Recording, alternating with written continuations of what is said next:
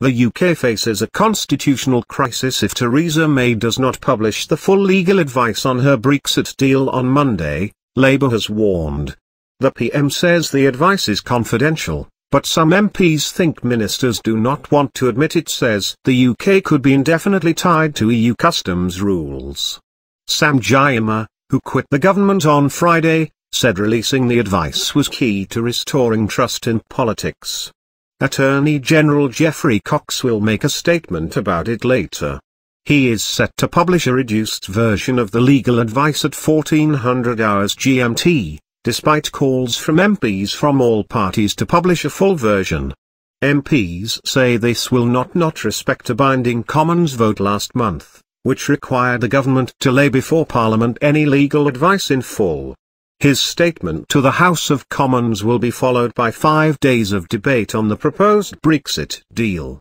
Home Secretary Sajid Javid has dismissed speculation that the final vote on Mrs May's deal, due on 11 December, could be delayed, saying he didn't think there was any chance of that. Speaking on ITV's this morning, the Prime Minister urged MPs to hold their nerve and get Brexit over the line, suggesting Parliament had a duty to do what people asked us to do by taking the UK out of the EU.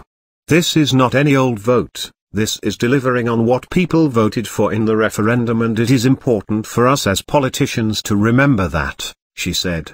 Ahead of the five days of debate on the deal, which begin on Tuesday, Labour is planning to join forces with other parties, including the DUP, which keeps Mrs May in power, to initiate contempt of Parliament proceedings unless the government backs down on publishing the full legal advice. Shadow Brexit Secretary Sir Keir Starmer told Sky News, if they don't produce the advice, this will be a collision course between the government and Parliament.